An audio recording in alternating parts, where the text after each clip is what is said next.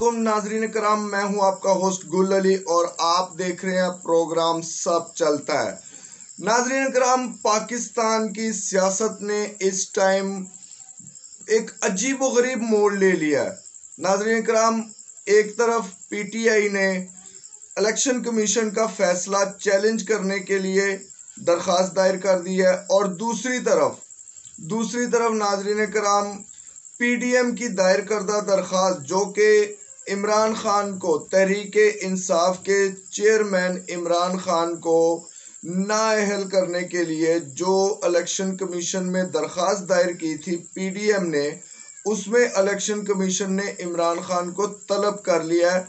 और तीसरी तरफ़ नाजरीन कराम, इमरान खान साहब ज़िमनी इलेक्शन में नौ हलकों से अकेले ही खड़े हो रहे हैं। नौ हल्के, एक इमरान खान नौ की नौ जगह इलेक्शन लड़ने के लिए अकेले इमरान खान खड़े हो गए।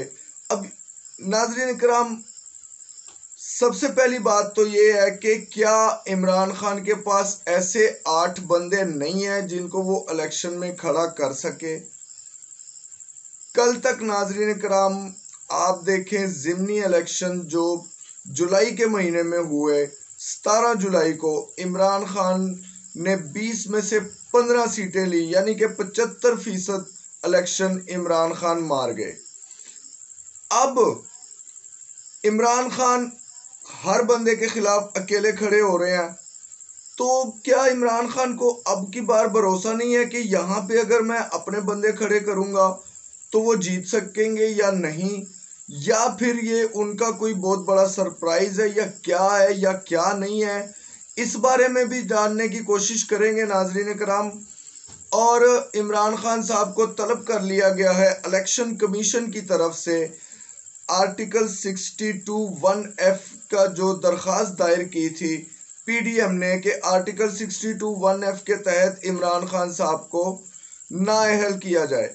अब नाजरीन कराम, आपको ये बताएँ कि इस दरख्वास्त की असल मकसद क्या है? मकसद ये है कि जो इमरान खान साहब ने तोशा खाना से तहफ़ लिए उसका मौक़ दिया गया कि वो इलेक्शन कमीशन में डिक्लेयर नहीं किए गए और इस बात पर इमरान खान को नाअहल किया जाए। अब अगर देखा जाए तो शायद पीडीएम ने वो एक मिसाल दी जाती है कि अपने पाँव पे कुलाड़ी मार ली तो मेरे ख्याल में पीडीएम ने यहाँ पे कुलाड़ी रख के उसके ऊपर पाँव रख के और ऊपर से दूसरी कुलाड़ी मार दी है, क्योंकि तोशा खाना के तहाइफ इमरान खान ने तो इतने लिए नहीं जितने ये लोग मज़े लूटते रहे हैं और इन्होंने कुछ भी डिक्लेयर नहीं किया इलेक्शन कमीशन में। तो अगर इस पर गैर जानबदाराना फैसला दिया जाए और इस पर article 162 sorry article 62 one F लगा दी जाए तो नाजरीन कराम फिर तो कोई भी नहीं बचता। फिर ना तो इमरान खान बचेगा, ना शबाज शरीफ बचेगा, ना मरियम नवाज़ बचेगी, ना ही मौलाना बचेगा, ना जरदारी बचे, फिर कोई भी नहीं बचेगा। फिर सबके सब नाअहल होंगे तो ये बड़ी एक दिलचस्प बात आ गई है, ये आर्टिकल 62 वन एफ़ वाली। और नाजरीन कराम आपको बताते चलें कि हमारे मोस्ट मोस्ट मोस्ट सीनियर तजिया निगार, हमारे शहजाद अंजुम ने हमें कॉल पे ज्वाइन कर लिया है। शहजाद अंजुम पीडीएम ने आर्टिकल 62 वन एफ़ की जो दरख्वास्त दायर की है इमरान खान साहब के खिलाफ के इमरान खान को नाअहल किया जाए तोशा खाना के तहफ़ डिक्लेयर ना करने के जुर्म में और ये तोशा खाना के तहफ़ किसी ने भी डिक्लेयर नहीं किए ना तो पीडीएम में से किसी आ, तो आप क्या कहते हैं इस बारे में? ये केस काफ़ी दिलचस्प नहीं है। अगर गैर जानबदाराना फैसला हो इस पर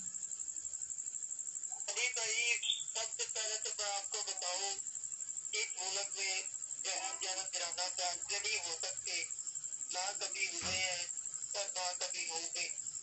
हमेशा जिस तरफ़ ताकत का तबादल चलता है जिसकी हुकूमत आती है फैसला उसी की तरफ़ चला जाता है।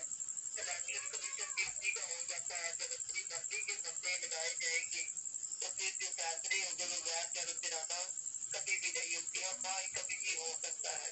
सही। तो दूसरी बात यह है कि जिस इकट्ठी कर रही है तो मेरा जो अपना जाती नज़रिया है कि जितने भी फैसले ले रही है ये बहुत जल्दबाजी करती है क्योंकि आप बेसिकली उठा के देखेंगे तो इसके साथ इमरान खान के खिलाफ कोई पुख्ता सबूत तो है नहीं ये बात तो पाकिस्तानी कौम भी जानती है कि जो भी फंडिंग वगैरह इशू चला है जैसे केस चल रहा है इलेक्शन कमीशन में कोई ऐसा सबूत नहीं है इसके पास और ना ही ये ला सके अपना पूरा ज़ोर लगाने के बाद। कि उसको बहाल करार दिया जा सके या उसकी पार्टी को खत्म किया जा सके तो किसी बुकलाट में इसके पास सबूत नहीं है ये कुछ ऐसे फैसले कर रहे पीडीएफ वाले जो ये अपने तौर पे करवाने कुछ बात तो मुझे नहीं लगता कि ये उसके खिलाफ कुछ कर सकेगी अगर कोई उसके खिलाफ फैसला आया भी तो आज भी आएगा तो फिर सुप्रीम कोर्ट चला जाएगा बहाल हो जाएगा तो आगे से इलेक्शन की तो हो जहाँ तक मेरा अपना नज़रिया है, ये सब स्टूपिड रास्ते जो किए जा रहे हैं, वो इलेक्शन से ज़्यादा दूर जाने के लिए किए जा रहे हैं, ताकि ये हुकूमत ज़्यादा देर तक रह सके और ये दीन बचाओ जिससे तरक्की सीधा मुल्क को फ़र्क करवा सके। सही। अच्छा राणा सनाउल्ला ने एक ऑफ़र दी है। राणा सनाउल्ला ने कल कहा है कि अगर इमरान खान चाहता है कि कबल वक्त इलेक्शन हो तो वो पंजाब असम्बली और के पी के असम्बली रिजॉल्व कर दे और मैं इस बात की गारंटी देता हूँ कि इलेक्शन हम कौमी असम्बली रिजॉल्व करके कबल वक्त करा देंगे। अब इस बात पे आज फवाद चौधरी ने, फवाद चौधरी से जब न्यूज़ कॉन्फ्रेंस के दौरान सवाल पूछा गया यही वाला तो फवाद चौधरी ने इस पे अपने रद्द अमल कुछ यूँ दिया कि राना सनाउल्ला के पास ये बात करने का या इस पे अमल करने का इख्तियार नहीं है। तो इस बात पर हम बिल्कुल कान नहीं धरेंगे। हाँ अगर शहबाज शरीफ ने ये बात की होती तो हम इस बारे में सोचते।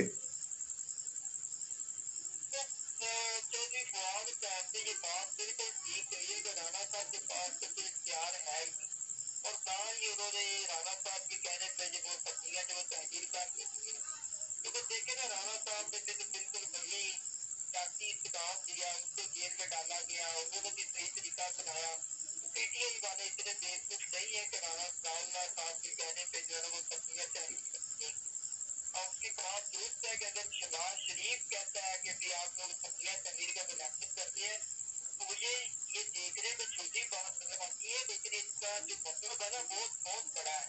अगर शहबाज शरीफ इतनी बात कह देता तो इसका मतलब ये है कि दूर नहीं क्यों अपने मौके से पीछे हट गए उन्होंने हाथ तकलीफ़ कर ली है और वो इलेक्शन की तरफ़ जाना चाहते हैं वो हुकूमत को संभालने में नाकाम हो गए हैं। तो चौधरी फवाद ने ये बात इसलिए कही है, लेकिन मेरा ख्याल नहीं है कि भैया शबाज जी बारे में रियाज साहब वो ऐसी बात करेंगे क्योंकि फिर अगर वो ऐसी बात करते हैं तो फिर तो सारी बात है, वो नकाम होंगे ये साबित हो जाएगा। और इमरान खान के साथ जो केस वगैरह किया था वो बड़ी हद तक कमज़ोर हो जाएगा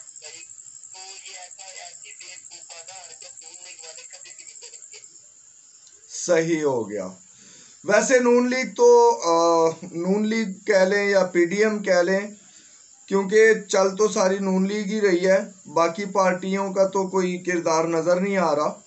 लेकिन जो इस टाइम पीडीएम की पिछले पाँच छः दिनों में सूरत हाल है वो कुछ यूँ है कि एक टाइम में इनके तीन मुख्तलिफ़ जगहों पर तीन बंदे प्रेस कॉन्फ्रेंस कर रहे होते हैं या चार मुख्तलिफ़ जगहों पर चार बंदे प्रेस कॉन्फ्रेंस कर रहे होते हैं, यानी इन्होंने एक दिन में तीस तीस प्रेस कॉन्फ्रेंसेस कर डाली हैं और उन सब का सब का मौकफ सिर्फ़ एक होता है, और वो मौकफ ये होता है इमरान खान। वो सिर्फ़ और सिर्फ़ इमरान खान इमरान खान इमरान खान इमरान खान। उनसे पूछो महँगाई क्यों हुई है, इमरान खान। उनसे पूछो जी, बिजली में आपने इतने टैक्सेस डाले, क्यों इमरान खान? पेट्रोल महँगा हुआ, इमरान खान। आटा महँगा हुआ, इमरान खान। आईएमएफ ने पैसे नहीं दिए, इमरान खान। आईएमएफ ने किस्त क्यों नहीं दी, इमरान खान? डॉलर नीचे गिर गया, इमरान खान। आईएमएफ ने किस्त दे दी, इमरान खान। भाई, आप लोग हुकूमत करने आए हैं या आप लोग इमरान खान को मज़ीद स्ट्रॉन्ग करने आए हैं? वैसे अगर देखा जाए आ, मेरी मेरी सुने पहले। मैं आपका जवाब लूँगा पहले मेरी बात पूरी सुन ले। ये यूँ लग रहा है जैसे पीटीएम वाले आए ही इमरान खान को स्ट्रॉन्ग करने हो। इनके प्रेस कॉन्फ्रेंसेस और ये जो जो कुछ कर रहे हैं इससे इमरान खान मजीद स्ट्रॉन्ग होता जा रहा है। मजीद से मजीद तर। हाँ जी बोलें।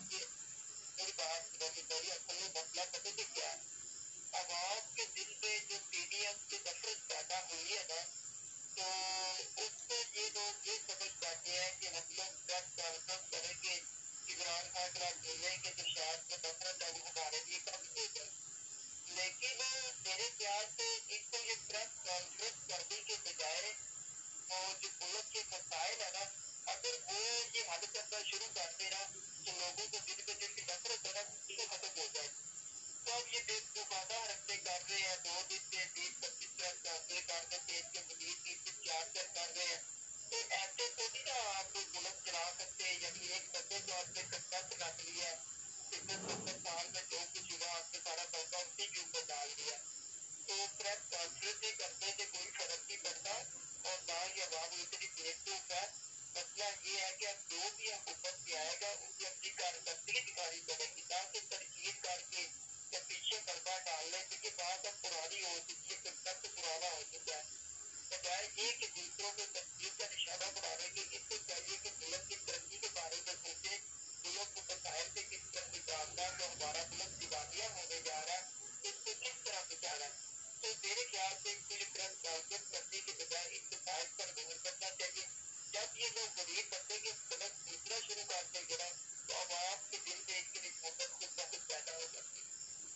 सही सही हो गया। बहुत शुक्रिया शदाद अंजुम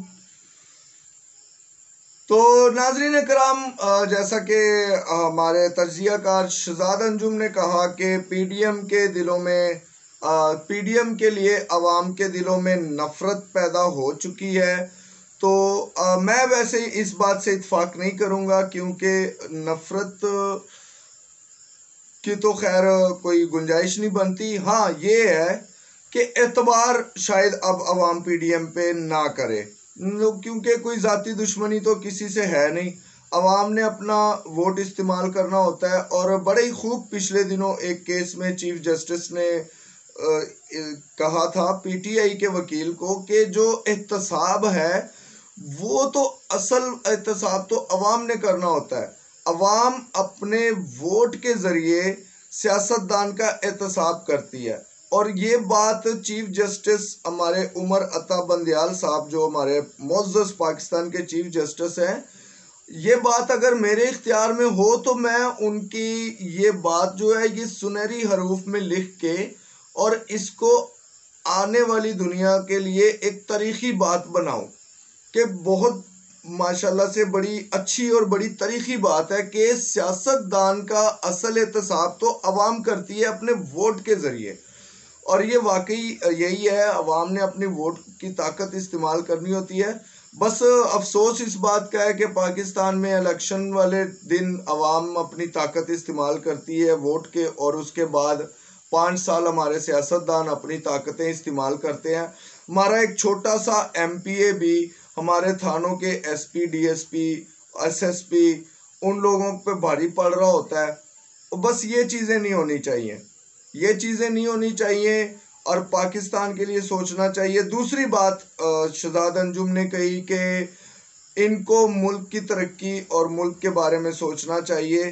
तो ये बात भी शहजाद अंजुम की वाकई इस टाइम जो हालात हैं, उन पर फिट बैठती है। लेकिन अफसोस की बात यह है कि अगर ये मुल्क की तरक्की के बारे में सोचेंगे अवाम के मसाइल के बारे में सोचेंगे तो जो इनके केसेस ख़त्म करने हैं, जो नैब के पर्क उतरने हैं, जो नैब को तकरीबन ख़त्म कर देना है, जो पाकिस्तान में एहतसाब नाम की कोई चीज़ नहीं रहने देनी तो लूट मार का जो बाज़ार है, उसको एक लीगल बाज़ार बना देना। ये काम कौन करेगा फिर?